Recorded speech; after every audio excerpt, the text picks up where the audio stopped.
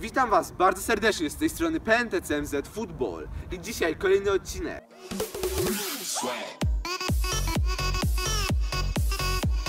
A więc tak, od samego początku swojej działalności prosiliście mnie, żebym nagrał kiedyś poradnik, na którym przedstawi jak dobrze i poprawnie wykonywać rzuty karne. I właśnie dzisiaj to robię. Teraz, po obejrzeniu tego odcinka, każdy wasz rzut karny nie będzie dla was stanowił problemu i wykończycie go tak jak chcecie, czyli sukcesem, golem. Musisz też wiedzieć, że każdy poradnik musi być podparty wieloma godzinami treningu. I jeżeli nie wyjdziecie za pierwszym razem, to nie zniechęcaj się, tylko ćwicz dalej i kiedyś na pewno uda ci się odnosić stuprocentową skuteczność przy wykonywaniu rzutów karnych. Jeszcze teraz na wstępie chciałbym Was poprosić o to, żebyście teraz kliknęli łapeczkę w górę pod tym materiałem, nie wiem czy jest po tej stronie czy po tej.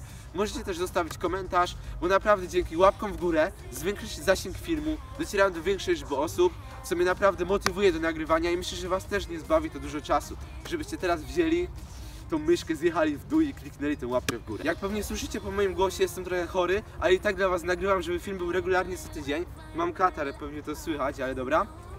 No nie ma co przedłużać, zaczynamy odcinek. Dobra, więc tak. Na samym początku możemy przyjąć, iż rzuty karne można podzielić na te uderzane na siłę, z prostego podbicia oraz na te uderzane technicznie z wewnętrznej strony stopy.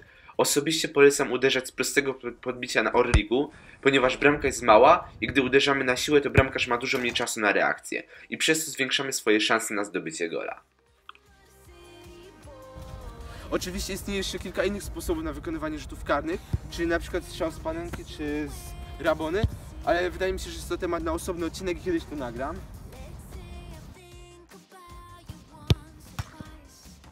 Dobra, więc teraz pokażę Wam kilka porad, w jakie miejsca powinniście uderzać. Przed momentem widzieliście poprawnie wykonany rzut karny, według mnie wzorowy, na którym powinniście wzorować. Czyli tak, każdy strzał powinien być umieszczany nie obok bramkarza, w takiej odległości na wysunięcie ręki, ponieważ ma, wtedy są bardzo duże szanse na to, że niestety bramkarz obroni. Staramy się zawsze umieszczać piłkę w rogu bramki, tak tutaj, albo w tak zwane okno. Tak samo po drugiej stronie. Oczywiście wybór strony to już zależy od Was, jak sobie ustalicie. Musicie być nieprzewidywalni dla bramkarza.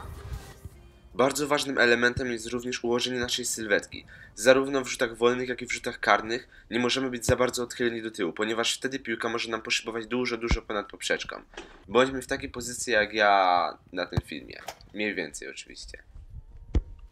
Musimy też uważać, ponieważ bramkarze bardzo często chwilę przed uderzeniem analizują ruchy naszej sylwetki oraz patrzą, gdzie kierujemy swój wzrok i przez to mogą wyczytać, w które miejsce skierujemy piłkę. Dlatego warto robić mylące ruchy, tak jak ja przykładowo zrobiłem tutaj na filmie. Kierując na początku wzrok całkowicie w drugą stronę, niż później chciałem uderzać.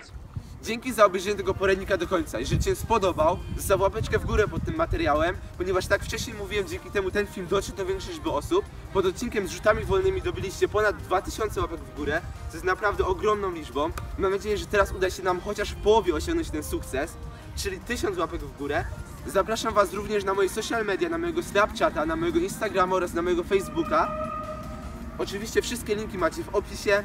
Subskrybujcie kanał. Tutaj macie takie logo. Możecie na nie teraz najechać. Pojawi się Wam taka etykieta. I kliknijcie subskrybuj.